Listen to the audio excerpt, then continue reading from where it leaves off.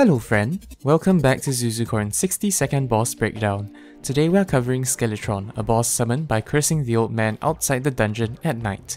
For your arena, build several rows of platforms above the dungeon, and you'll need a double jump and boots at least, along with some buff potions. If you can get rocket boots or fledgling wings, you'll be all set. A mini shark with meteor bullets works great, or perhaps the space gun or a Zapinator. The boss is made up of a skull and two hands which swing at you. Just look at which arm reels up, then just get out of the way. After some time, the head spins towards you, which deals extremely high damage. Just run along your platform and he won't catch you. If you're in expert mode, kill the two hands first to reduce the defense of the head. To dodge the flying skulls, try running along the platform for a while before changing directions with a dash, and maybe try jumping and circling over him. There's more than one way to deal with the skulls, so experiment to find your own style. Hope that helped!